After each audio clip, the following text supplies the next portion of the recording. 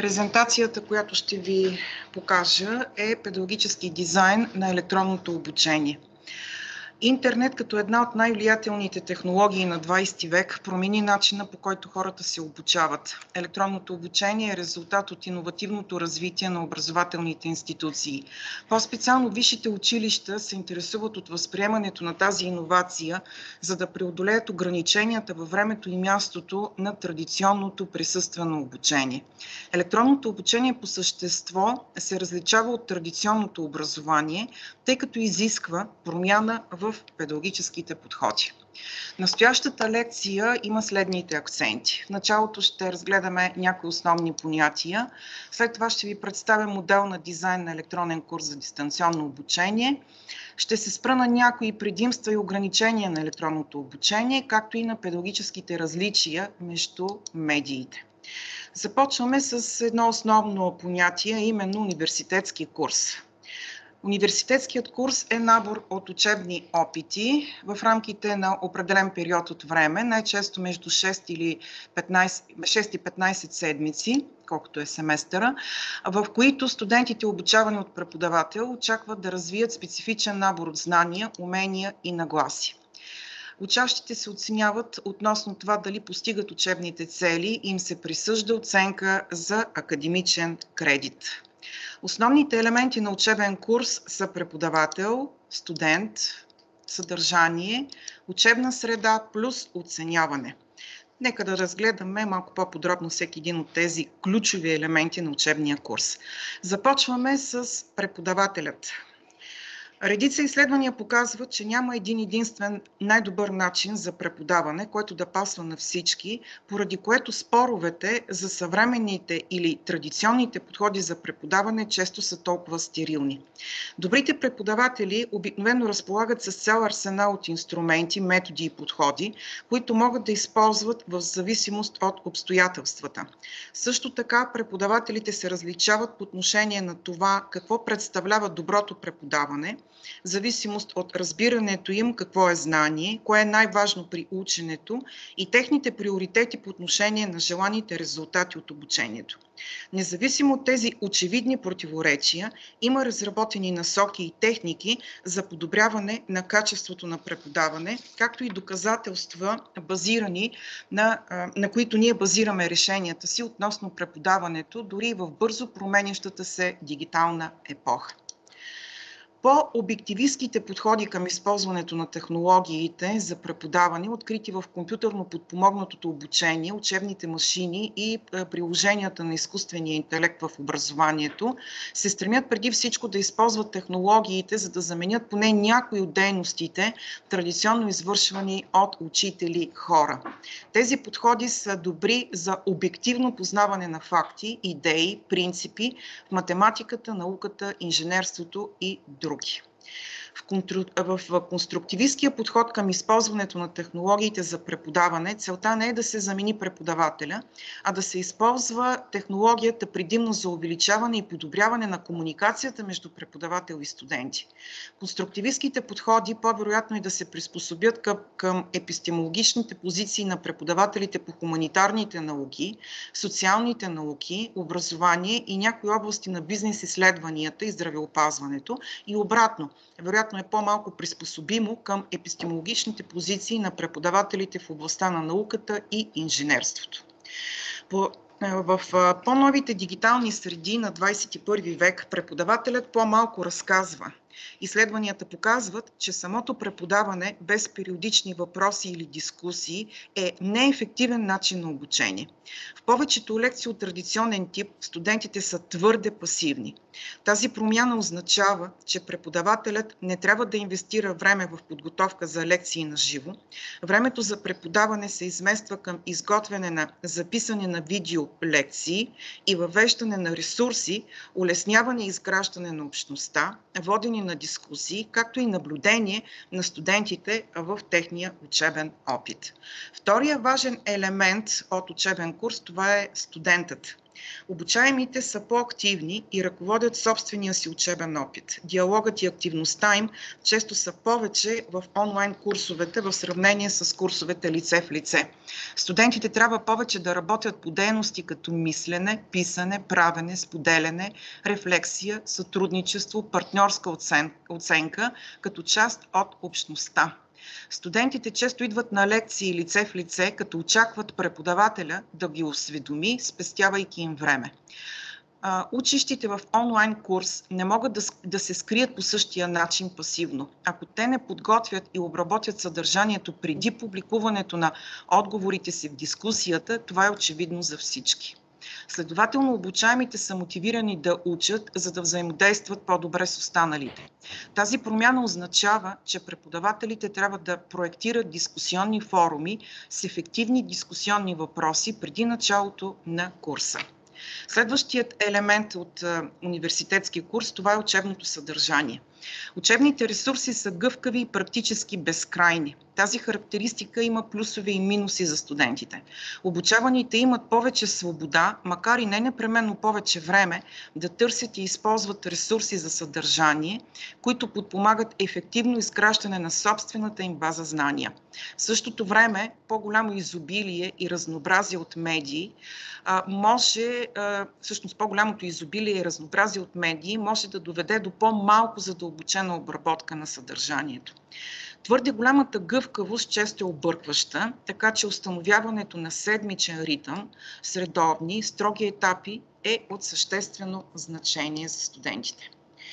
Учебна среда, това е следващият елемент на а, учебния курс. Виждате на екрана, на слайда, всъщност нашите платформи за обучение, които в момента използваме. От лявата страна е системата е преподавателна, която провеждаме обучението в редовна и дистанционна и задочна форма, извинете, а в дясната страна е снимка на курс от платформата за дистанционно обучение Moodle. Учебната среда е преди всичко асинхронна. Онлайн учебните зали предоставят възможности за синхронни срещи, но добрата онлайн практика използва тези срещи за дискусии, сесии за въпроси и отговори, партньорска критика, колаборативна работа по проекти и презентации. Онлайн дискусиите са предимно асинхронни, достъпни по различно време и независими от физическото местоположение на обучавания, а не синхронни в реално време в избрано от преподавателя място, било то физическо или виртуално. От, студент, от студентите се изисква предварително да осмислят коментарите и изказванията си преди да участват в дискусиите. И последният елемент от учебен курс, това е оценяването. Виждате на екрана отново елементи на учебен курс от нашите платформи. Оценяването е онлайн, в онлайн курсовете трябва да бъде непрекъснато, многофазно, с принос към общността, а не епизодично, концентрирано и фокусирано върху диалога между студент и преподавател. Това е от педагогическа полза и прави различните форми на измама по-трудни. Оценяването във всеки курс се подобрява, когато преподавателите инвестират време в коучинг и менторство. Оценяването в онлайн и смесени курсове обикновено използва комбинация от автоматизирани тестове, чести, редовни публикации в дискусионни форуми, кратки статии, анализи на казуси и персонализирани проекти. В контекста на новата наредба за дистанционната форма на обучение – Обучавани преподаватели и администратори могат да са разделени по местоположение, но не непременно по време, като създадената дистанция се компенсира с технологии, методи и средства на електронното обучение. Съществуват множество дефиниции на изтъкнати специалисти в областта на електронното обучение, както по света, така и в България. А понятието електронно обучение се свързва с използването на електронна учебна среда, която подпомага изпълняването на основните педагогически функции преподаване, учене, педагогическо общуване и оценяване. В този смисъл понятието електронно обучение често се използва и като синоним на дистанционно обучение, т.е. обучение от разстояние, осъществено с помощта на технологиите.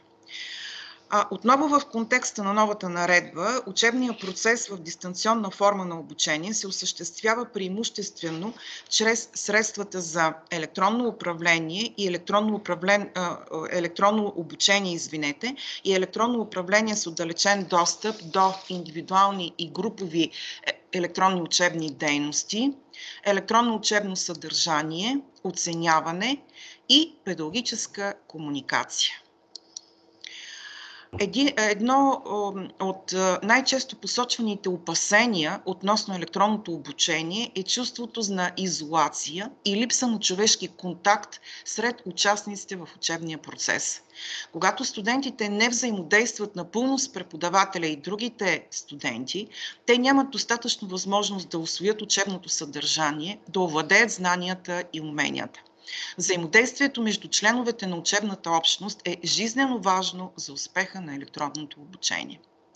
И така, дизайнът на електронно обучение включва детайлно проектиране на всички учебни ресурси и задачи, онлайн учебни дейности, процедури и инструменти за оценяване, както инструментите на електронната среда, с помощта на които всички тези компоненти на обучение ще бъдат реализирани. Предлагам ви един модел на дизайн на електронен курс за дистанционно обучение, който е базиран на съвременните изследвания в областта. Той включва следните основни етапи. Целеполагане, диагностициране на входящото ниво на обучаваните, подбор на учебното съдържание, избор на педагогически подход, изграждане на учебния курс и етапът, който е последен, оценяване да разгледаме накратко всеки един от етапите. Първият етап е проектиране на онлайн курс. Това е целеполагането. Чрез определене на целите се задават очакваните резултати от обучението в съдържателен план, т.е. макродизайна, а на ниво микродизайн вече е тяхното операционализиране под формата на знания, умения, компетенции, критерии при оценяване на, на тяхното ниво и други. Вторият етап е диагностициране на входящото ниво на обучаваните. На този етап получаваме важна информация по отношение на е, на предварителната подготовка на обучаваните, в зависимост от която могат да настъпят промени както в учебното съдържание, така и в методите на обучение. Третият етап е подбор на учебното съдържание – Учебното съдържание на а, университетски курс трябва да включва последните научни изследвания и добри практики на национално и световно ниво, да отразява съвременното актуално състояние в областта. Подборът и структурирането на учебното съдържание е важен етап от дизайна на учебния курс, особено по отношение на постигането на поставените цели. Преподавателите планират и разработват електронния курс за дистанционно обучение, като предоставят 100% от учебното съдържание по дисциплината под формата на учебни материали. Обемът на учебното съдържание при използване на печатен учебник на хартиен носител за университетски курс в редовна форма, например за 15 седмици по 4 учебни часа на седмица, е около 250 страници стандартни машинописни. Тоест по 4 страници на, за един учебен час лекции или семинарни упражнения. Темите от учебното съдържание включват учебни материали и учебни дейности. Учебните материали са в различен медиен формат – текст, аудио и видео. Множество линкове към допълнителна информация. Някои части от темите, в които се изисква повече онагледяване, би следвало преподавателят да подготви видеолекции. Следващият етап е избор на педагогически подход. Преди да изгради дизайна на учебния курс за дистанционно обучение, преподавателя трябва да реши какъв да е педагогическият подход. Някои от най-често използваните педагогически подходи за активно учене са обучение базирано на проблем, обучение базирано на проект, откривателско обучение, смесено обучение, обърнато обучение и други. За всеки подход се подготвят различни учебни ресурси, поставят се различни задачи, дават се различни насоки. Студентите не се ограничават само до работа с предоставените теми, а се изисква от тях да търсят и изследват сами или в група. Петият етап е самото изграждане на учебния курс. Този етап включва два задължителни елемента. Това са учебните материали и учебните дейности. В курса са включени разнообразни електронни учебни ресурси, електронен материал, по теми в различен медиен формат, текст, аудио, видео, файлове, PowerPoint презентации, видеозаписи на лекции. Персонализация на обучението постигаме не само чрез включване на различни формати в представянето на учебното съдържание, но и чрез осигуряване на избор, на избор от множество допълнителни учебни ресурси, препратки към интернет източници по темите в курса. Учебните дейности всъщност са методите на преподаване и учене. Директното пренасене на традиционните методи като лекция, дискусия, презентация, които са характерни за преподаването в традиционна лекционна зала, може да се окаже причина за понижаване на мотивацията у студентите, усещане за неудовлетвореност от ученето и дори отпадане от дистанционния курс. При дизайн на електронен курс трябва да се планира всяка дейност по-отделно, нейната организация, структура и съдържание и да се определи точно и ясно нейното място в цялостната система от дейности. И последният етап е оценяване препоръчително е да се проектират финално или сумативно и текущо или формиращо оценяване. Методите на, оценки, на оценка се подбират с цел осигуряване на всеобхватно и обективно оценяване на всички важни знания, умения и компетенции. Основните части на учебен курс за електронно обучение са информационна част, уводна част, основна част, заключителна част, библиография и контролна част. Започваме с информационната част. Тя включва кратко видеообращение към студентите. Преподавателят представя на кратко дисциплината в рамките на 3 до 5 минути както и кратка творческа автобиография на преподавателя. В рамките на 5-6 изречения преподавателят се самопредставя, като акцентира върху научните си интереси и публикационната си дейност. Тук набързо ще вляза в един мой учебен курс за дистанционно обучение в нашата платформа, в който ще ви покажа тези. Уважаеми колеги, аз съм доцент доктор Стоянка Лазарова, директор на Център. Така, това е краткото обращение, което аз съм направила в рамките на около 3 минути, в което представям съвсем накратко а, дисциплината. Следва а, уводна част, която включва кратка анотация на курса, график на курса по седмици, контакти за връзка с автора на курса, като най-често това са служеб, т.е. служебния имейл на преподавателя. Следва основна част на курса, която включва съдържателната част под формата на учебни материали, и учебни дейности, най-често представена под формата на теми. А преди да покажа темите, а, нека да покажа други, друга важна особеност на основната част, а именно а, вирту... връзка към виртуална учебна зала и график на, на синхронните учебни дейности както и дискусионен форум, важна част от курса. В първата седмица студентите се запознават като изграждат учебна общност, а през следващите седмици обсъждат помежду си различни аспекти от учебното съдържание под ръководната роля на преподавателя тук анкета за определене на предварителната подготовка на студентите. Следва тематиката на курса под формата на а, на теми и отиваме към заключителната част, която е следващата част от ето я, заключителната част, която включва важни изводи и констатации, които са базирани на научни изследвания в предметната област. Библиографията списък с, научни, с литературни източници, достъпни в мрежата. Тя може да бъде задължителна и препоръчителна, както и допълнителни ресурси, които са предназначени за студенти, които проявяват повишен интерес към тематиката на курса. Тази допълнителна литература може да е в крайната част на курса може и да е след всяка тема, вече тук, който, нали, който какъвто подход предпочита. Контролната част е следващата част от електронния курс. Ясно описани методи, средства и процедури за проверка и оценка знанията на и уменията на студентите, доколко учебното съдържание е освоено и учебните цели са постигнати. Препоръчително е учебното съдържание на електронния курс да се раздели на теми, например 10-15 на брой, като следват седмиците от семестъра, което най-често е от 15 седмици. Примерна структура на тема включва увод.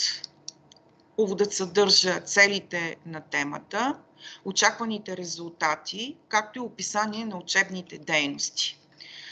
Следва елементи на основното съдържание, заключение и елементи на надграждане и самооценка. Нека да се върна в презентацията. Сега ще ви представя някои от предимствата и ограниченията на електронното обучение от педагогическа гледна точка. Да започнем с предимствата. Едно от основните предимства на електронното обучение това е възможността за персонализирано обучение. Под персонализирано обучение се има предвид приспособяване на съдържанието, преподавателските методи и навигацията възоснова на нуждите на отделния обучаван. Асинхронното електронно обучение позволява на обучаемите да напредват със собствено темпо и да избират теми и методи, които най-добре отговарят на техните нужди. Само тук едно пояснение да направя, че при традиционната аудитория, физическа аудитория, преподавателят налага темпото на преподаване, като се съобразява с така наречения среден обучаван, докато в а, асинхронната електронна учебна среда всеки един обучаван има възможност да учи с собствено темпо, без да се съобразява с темпото на учене с, на останалите участници в учебния процес. Друго предимство е активността в обучението.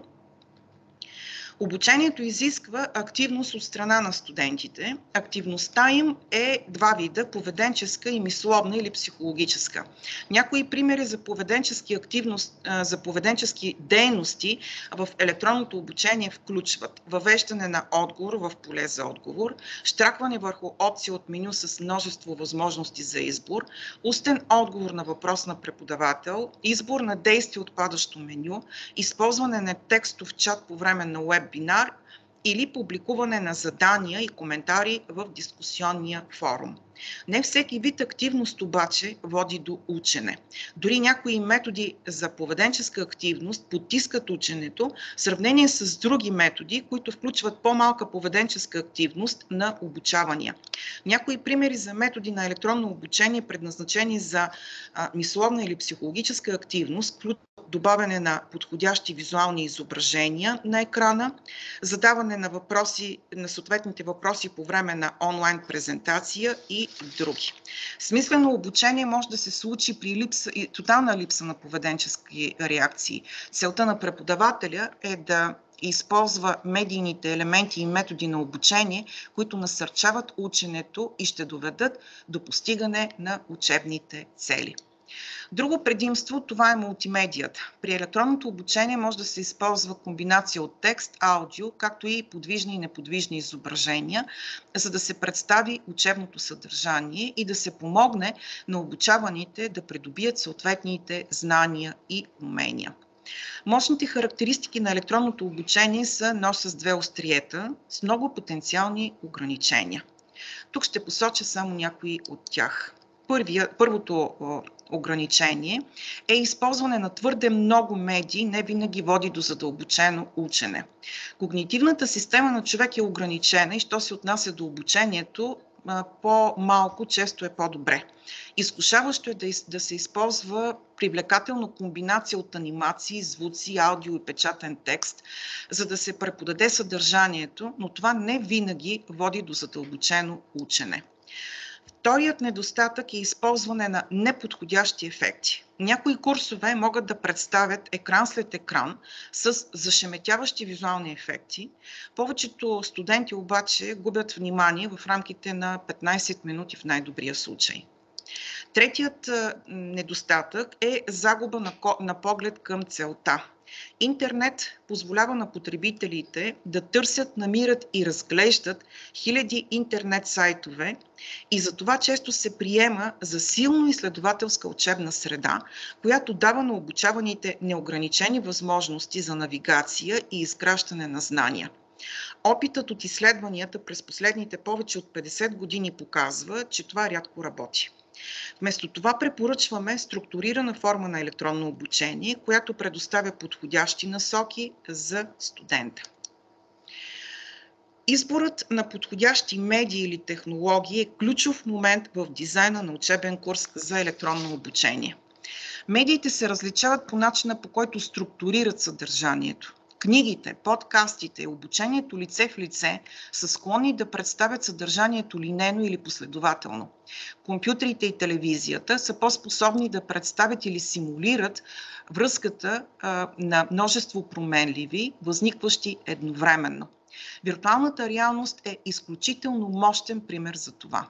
Компютрите могат да се справят с разклоняване или альтернативни пътища от информация, но обикновено в определени граници.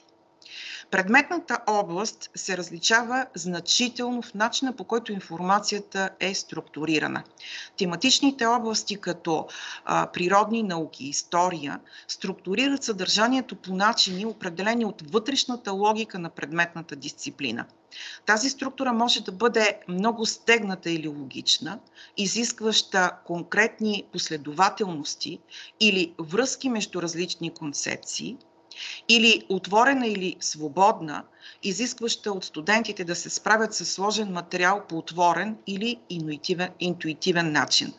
Следователно, различните предметни области изискват различен баланс на медиите. Медиите се различават и в символните си системи, като текст, звук, неподвижни или движещи се изображения, които използват за кодиране на информацията а, те се различават и по степента, до която могат да представят различните видове съдържание. Основните компоненти или критерии за академични знания са кодификация, т.е. знанията могат да бъдат представени последователно под някаква форма, като думи, символи, видео. Прозрачност, източникът на знанието може да бъде проследен и проверен. Възпроизвеждане, знанията могат да бъдат възпроизведени или да имат множество копия. И комуникативност, т.е. знанието трябва да бъде в такава форма, че да може да бъде предадено на другите. Ще разгледаме по-подробно педагогическите различия на водещите образователни медии, като започнем с текста. Всъщност, текстът отговаря на всички тези четири критерия, които изброих като критерии за академични знания. За това се счита за основна медия за академично обучение. Ключовите символни системи в текста са писмен език, включително математически символи и неподвижни графики, които включват диаграми, таблици и копия на изображения, като снимки или картини.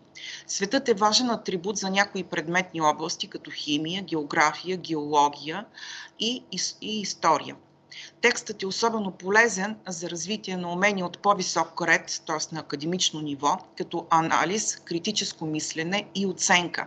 По-малко полезен е, например, за показване на процеси или развиване на ръчни умения. Някои от уникалните презентационни характеристики на текста са Текстът е добър, особено добър, в справянето с абстракции и обобщения, главно чрез писмен текст. Текстът дава възможност за линейно представяне на информация в структуриран формат. Записаният и постоянен текст, характер на текста позволява независим анализ и критика на съдържанието. Има известно припокриване на всяка от тези функции с другите медии, но никоя друга медия не комбинира всички тези характеристики, характеристики или не е толкова мощна като текста по отношение на точно тези характеристики. А, следващата образователна медия, това е аудиото. Устната комуникация има дълга история и продължава да присъства и днес в преподаването в учебна зала. Тук обаче се фокусираме предимно върху записал, а, записан на носител звук. Въпреки, че аудиотехнологиите непрекъснато се развиват, от аудиокасети до подкасти, педагогическите характеристики на аудиото остават забележително постоянни в продължение на доста дълъг период от време. Може да се представи само звук в случаи като говорим език, включително чужд, за анализ или практика, музика като изпълнение или за анализ, интервюта с водещи изследователи или експерти, дискусия между двама или повече души за представяне на различни виждания по дадена тема. Въпреки, че аудиото може да се използва самостоятелно, то често се използва в комбинация с други медии, особено текст. Установено е, че аудиото е особено полезно за обяснение или говорене върху материали, представени с текст, математически уравнения, репродукции на картини, графики, статистически таблици и дори физически скални образци. Тази техника е доразвита от Саламан Кан в небезизвестната Кан Академи, като а, там се използва видео за комбиниране на гласово или аудио обяснение с визуално представяне на математически символи, формули и решения. Съвсем на, така накратко и набързо силните и слабите страни на а, аудиото като образователна медия – Силните страни, т.е. предимствата са много по-лесно е да се направи аудиоклип или подкаст, отколкото видеоклип или симулация. Аудиото изисква много по-малка частотна лента от видеото или симулациите, поради което се изтегля по-бързо и може да се използва при относително ниска частотна лента. Лесно се комбинира с други медии, като текст, математически символи и графики, което позволява интеграция между медиите. Някои студенти предпочитат да учат чрез слушане в сравнение с четене. Разбира се, има и недостатъци. Аудиобазираното обучение е трудно за хора с слухови увреждания. Създаването на аудио е допълнителна работа за преподавателя. Аудиото често се използва най-добре заедно с други медии, като текст или графика, като по този начин добавя сложност към дизайна на обучението. Записване на аудио записването на аудио изисква поне минимално ниво на техническа опитност. Говоримият език има тенденция да бъде по-малко точен от текста. Следващата образователна медия, това е видеото. Въпреки, че през последните 25 години има огромни промени в видеотехнологиите, които водят до драстично намаляване на разходите, както за създаване, така и за разпространение, уникалните образователни характеристики са до голяма степен същите. Видеото е много по-богата медия от текста или аудиото, тъй като освен способността си да предлага текст и звук, може да предлага и динамични картини. По този начин, въпреки че притежава всички възможности на аудиото и част от текста, видеото също има свои уникални педагогически характеристики. Основните е, силни и слаби страни на видеото като образователна медия – да започнем с предимствата. Свързване на конкретни събития и явления с абстрактни принципи и обратно. Възможността за спиране и пускане позволява на студентите да интегрират дейности с видеото. Видеозаписът е добър за развиване на някои от интелектуалните умения от по-високо ниво, както и някои от по-практическите умения, необходими в дигиталната ера, като дигиталните умения – Използването на ефтини камери и безплатен софтуер за редактиране позволява някои форми на видео да бъдат ефтино произведени. Също така трябва да се помни, че в допълнение към изброените по-горе функции, видеото може да включва и много от функциите на аудиото. Основните слабости на видеото са много преподаватели нямат никакви знания или опит в използването на видео, освен запис на лекции. По-настоящем има ограничено количество висококачествено образователно видео, безплатно за изтегляне, тъй като цената за разработване на висококачествено образователно видео, което използва уникалните характеристики на медията, все още е относително висока.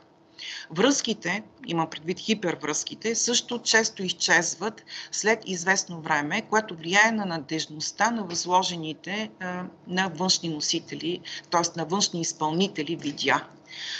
Създаването на оригинален материал, който използва уникалните характеристики на видеото, отнема време и все още е относително скъпо, тъй като обикновено се нуждае от професионална видеопродукция. За да извлекат максимум от образователното видео, обучаваните се нуждаят от специално разработени дейности, които често трябва да са извън самия видеофилм. Обучаваните често отхвърлят видеоклипове, които изискват от тях анализ или интерпретация. Те често предпочитат директни инструкции, които са, се фокусират предимно върху разбирането. Такива студенти трябва да бъдат предварително обучени да използват видеото по различен начин, което изисква време.